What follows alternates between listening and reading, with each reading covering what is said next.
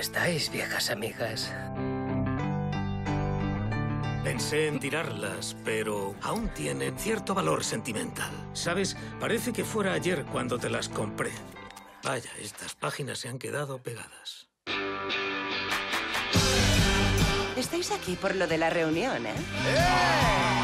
Eh, Kevin, ¿llevas lo que creo que llevas en la cara? Estate Sí, quieto. sí, sí. Jim, no te acuerdas de mí, ¿verdad? Hace mucho tiempo que no necesito canguro. ¿Cara? Mañana cumplo 18. ¿Podrías venir a mi fiesta? Ah, em, creo que Por poco favor, me muero porque vengas. Haremos de este fin de nuestra puta. Será mejor que estés preparado. Mejor prepárate tú. La lista de deseos de la promoción. Teníamos que escribir nuestros deseos para el futuro. Chris o Striker espera encontrar... Auténtico amor. La chica del coro. ¿Quién es este pringao? Mi novio. Los dos folláis juntos y vosotros solíais follar. Debe de resultar incómodo para todos.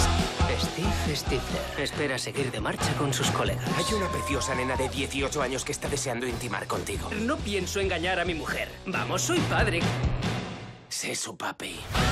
Jim Levenstein espera tener la vida sexual de Ricky Martin. Seguro que practicas más sexo que ninguno de nosotros.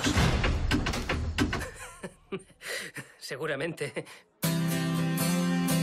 El Insti fue una pasada. Lo que tuvimos era especial. Luego nos graduamos y todos nos pusimos a trabajar. Nos casamos, tuvimos hijos y todas esas estupideces que se hacen. Ninguno tiene una vida perfecta.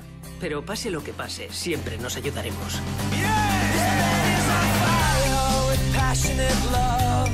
¿Éramos tan impresentables como estos críos en esa época?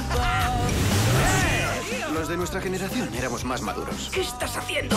He plantado un pino. Voy a echar la puta. Vamos, han pasado tres años. ¿No crees que va siendo hora de que conozcas a alguien? Ah, ¿Quién es usted? La madre de Steve. Yo soy el padre de Jim.